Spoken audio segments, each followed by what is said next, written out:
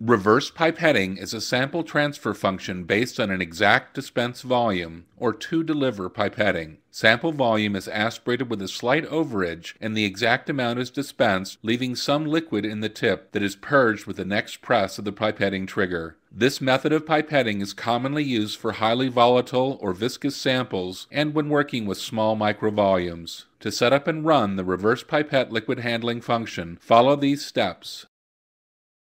For this example, we will pipette 50 microliters of sample.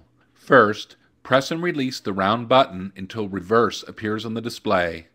Then, press the up or down arrow and the current dispense volume will be displayed. Press the up or down arrow again to change this to the desired setting. Press and release the round button to lock in this new volume setting and advance to the current speed setting.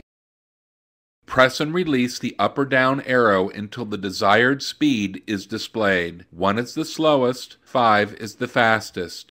Press and release the round button to lock in the speed setting and exit setup. You can now aspirate the sample by pressing and releasing the pipetting trigger. Press and release the pipetting trigger again to dispense the sample.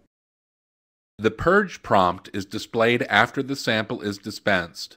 Press and release the pipetting trigger to purge liquid remaining in the tips into a suitable container. The pipette is now ready to perform the next reverse pipetting cycle.